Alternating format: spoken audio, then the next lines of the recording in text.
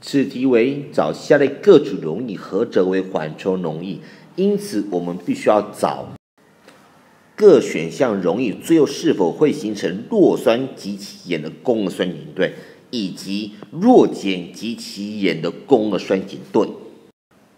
对于 A 选项而言，为零点一 m 强酸硫酸以及弱碱氨水的混合液，因此我们先写出中和方程式。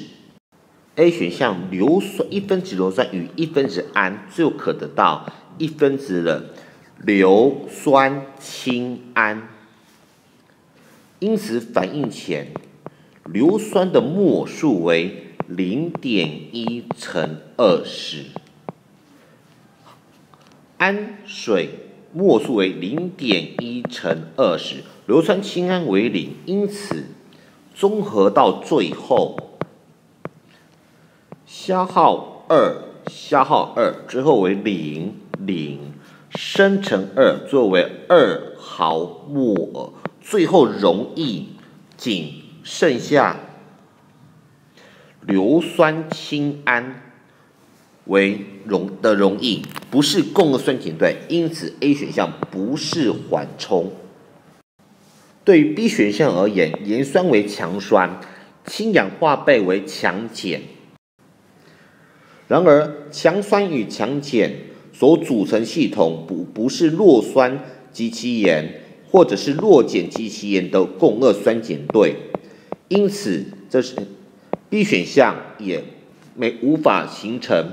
缓冲溶液，两个都是强的酸碱，没办法形成缓冲溶液。对 C 选项而言为。强酸盐酸以及弱酸盐类醋酸钠的混合液，因此我们一样必须先写出这两个的中和方程式。盐酸加上醋酸钠可以形成醋酸加上氯化钠。中和前，盐酸的摩尔数为零点一乘十毫升。醋酸钠的末数为零点一乘二十毫升，毫升用心。醋酸为零，因此综合之后，盐酸比较少为希量试剂，消耗一，最后产生，最后得到零。醋酸钠消耗一，最后剩下一毫摩尔，醋酸生成一，最后为一毫摩尔，氯化钠也是这样得到一。然而，最后溶液中，我们可以看到有具有醋酸盐类以及醋酸这两共这两个组成共轭酸碱对，因此 C 选项为缓冲溶液。接下来我们再来看猪选项猪选项为氢氧化钠强碱以及醋酸弱酸的混合液，因此一样，我们第一步先写出氢氧化钠以及醋酸的综合方程式。氢氧化钠加上醋酸可综合变成醋酸钠盐类以及水。综合之前。氢氧化钠的末数为零点一乘上二十，醋酸末数为零点一乘上十，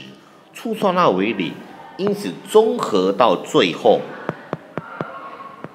醋酸比较少为稀试剂，消耗一，最后为零；氢氧化钠消耗一，最后为一毫摩尔。醋酸钠生成一，最后得到一毫摩尔。然而，溶液最后剩下氢氧化钠强碱以及醋酸钠存在，两者不是共轭酸碱对，因此不视为缓冲液。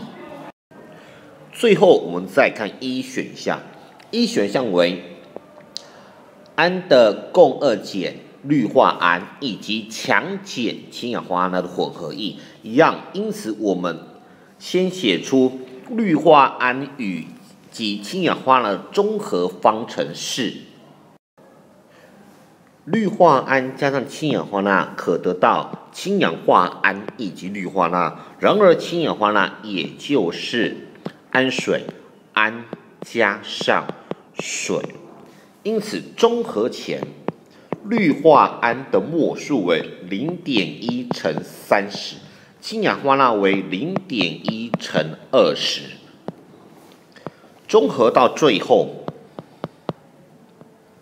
氢氧化钠为现实剂，消耗二，最后为零；氯化铵消耗二，最后可剩一毫摩尔，氨则生成二，最后为二毫摩尔。然而，氯化铵以及氨两者互为共轭酸碱对，因此一选项可为缓冲溶液。